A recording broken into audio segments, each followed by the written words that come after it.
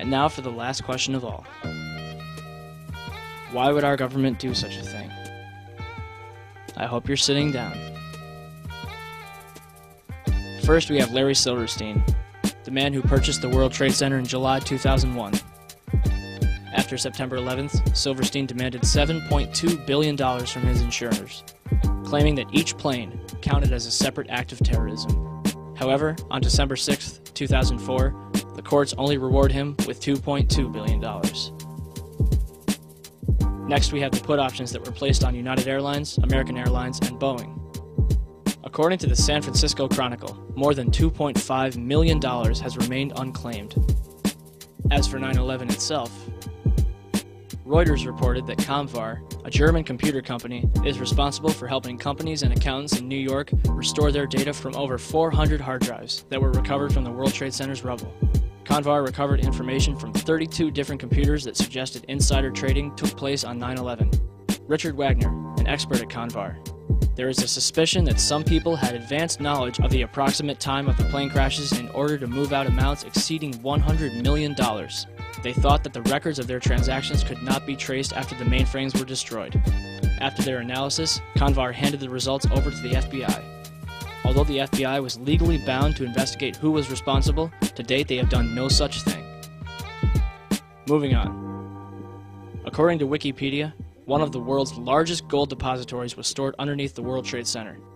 In 1993, the value of the gold was estimated at $1 billion, rumored to be owned by Kuwaiti interests. When the World Trade Center was destroyed, the amount of gold far exceeded the 1993 levels. The gold was finally recovered in its entirety in late 2001. Or was it? On November 1st, 2001, the Times Online reported that a large amount of gold was discovered in the wreckage of the World Trade Center. Mayor Rudolph Giuliani announced that more than $230 million was recovered from Ground Zero. However, the COMEX Metals Trading Division was storing gold bars for the Bank of Nova Scotia, Chase Manhattan Bank, Bank of New York, Hong Kong, and Shanghai Banking, totaling $950 million. And that's just one company. Rumor has it that over $160 billion in gold was stored in the World Trade Center. So, where did all the gold go?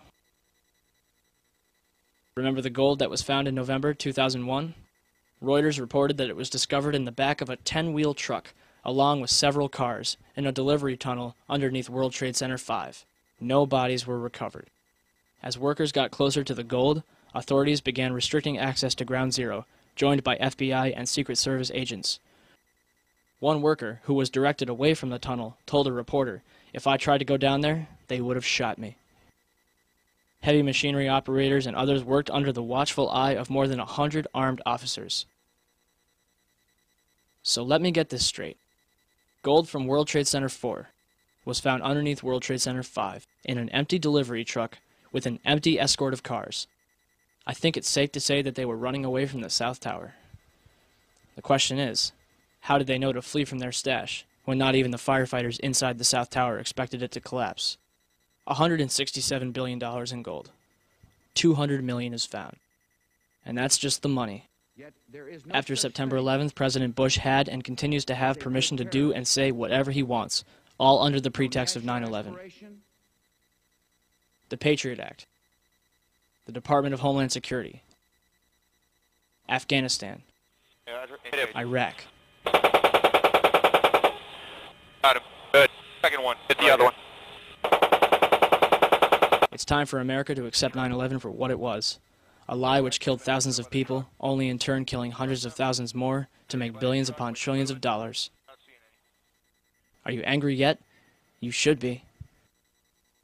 Every single attempt to investigate and uncover the truth behind 9 11 has been blackballed, ridiculed, and harassed by both the government and media alike for even daring to question the official story. Jimmy Walter, who spent nearly $2 million on an advertising blitz to convince people here in New York and elsewhere that 9 11 was a self inflicted wound. Jimmy, welcome. Uh, wh why are you doing this? I'm a patriot trying to defend this country from the real terrorists who have damaged and changed our country. I am asking the same questions that the widows and orphans, parents and friends of the victims of 911 are asking and have not had answered by either the 911 Commission nor by any real investigation to the mass murders that 66% of New Yorkers want investigated. Okay, Jimmy.